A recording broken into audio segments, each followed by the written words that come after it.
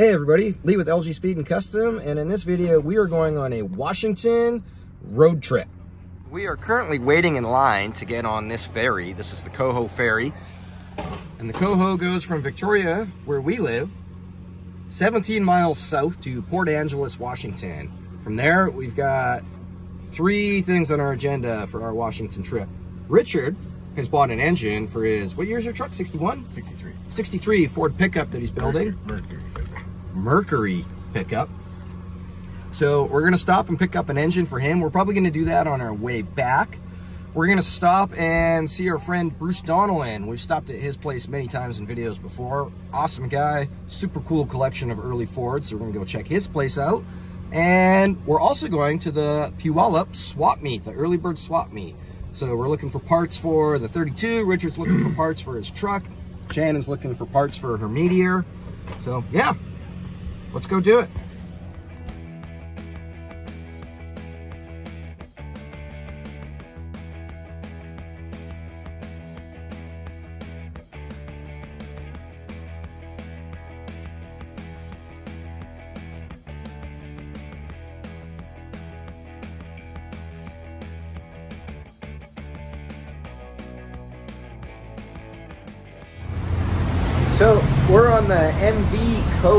Right now, which is a ferry built in 1959 that runs between Victoria, BC, where we live, and Port Angeles, Washington.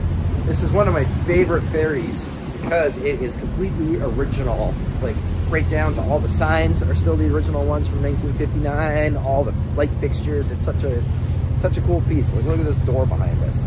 It's great. So it's only 17 miles, but it's like an hour and a half ferry ride. And then we still got to go through customs when we get to the other side. So we got a little bit. Once we hit Port Angeles, we're going to head towards the, we're going to catch another ferry after that, the Edmonds Kingston ferry, which is going to kind of take us into Seattle. And then we'll head north towards Bruce's place. We have now arrived in Port Angeles. All right, we've cleared customs. We're now in Port Angeles, Washington, and we are heading towards chewing tobacco. Chewing tobacco. Richard needs chewing tobacco. And then we're heading towards Seattle.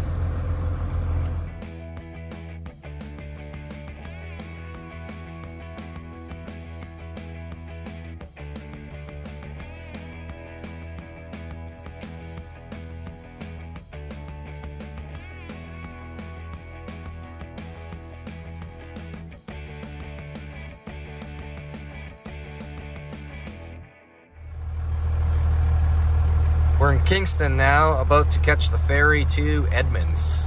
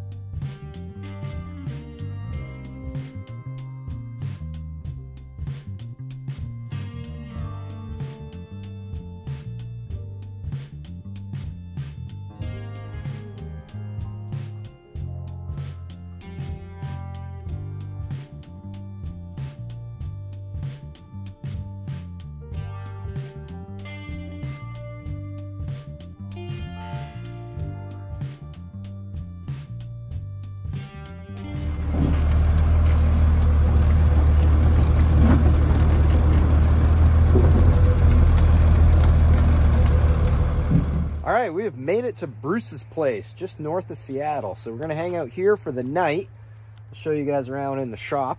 It's got some cool stuff in there. And then tomorrow morning, we're gonna leave from here and go south to the swap meet. And for those new to the channel that don't, I've, i just realized I never introduced what we're driving. This is Brown Sugar. This is my tow pig, 1972 Ford F350 crew cab that I converted to a dually. It's got a Sterling 10 and a quarter rear end in it. It's got dropped I-beams up front with some custom coils that I configured in there. The back is z seven inches, so the frame is dropped seven inches, but it still has full towing capacity. Under the hood, It's got a 12 valve Cummins with a 47 RH automatic transmission.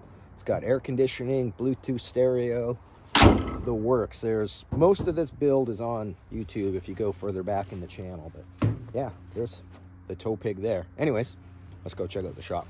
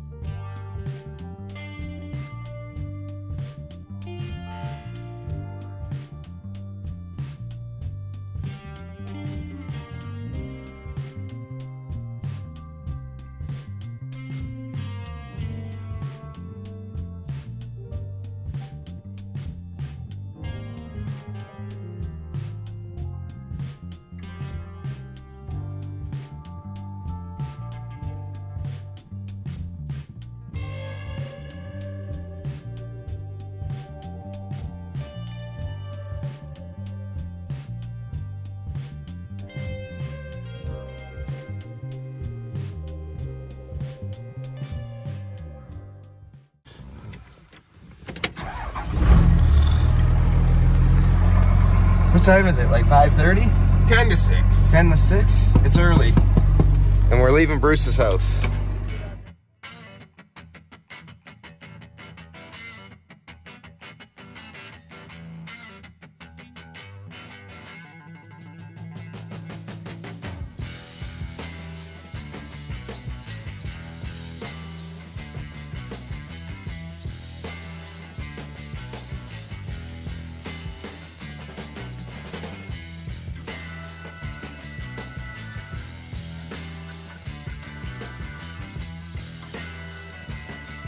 We have arrived. All right, we're in. Let's go find some parts. Looking for another project now. Yeah.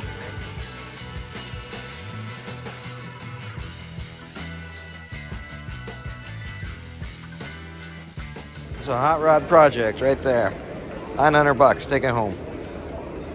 That was my first buy of the day. I just bought these four 890 15 white walls.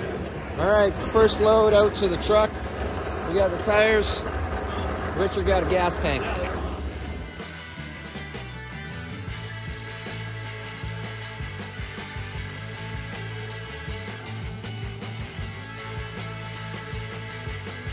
So Richard just bought a $400 32 Ford Roadster body, fiberglass, to make a rear engine modified land speed Roadster out of.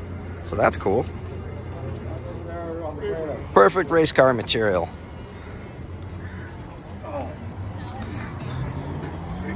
Richard, this is the best bad idea you've ever had.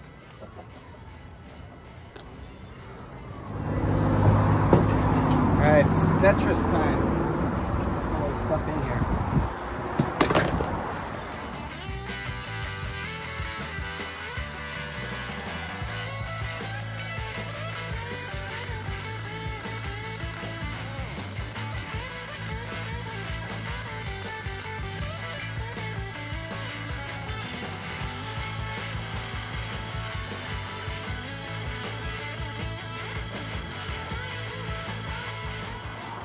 Fits, it all fits. We got the tires all tucked inside there.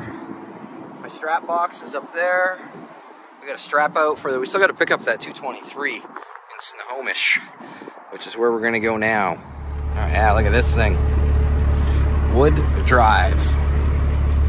All right, we got about an hour and a half to Snohomish, so we're gonna head north.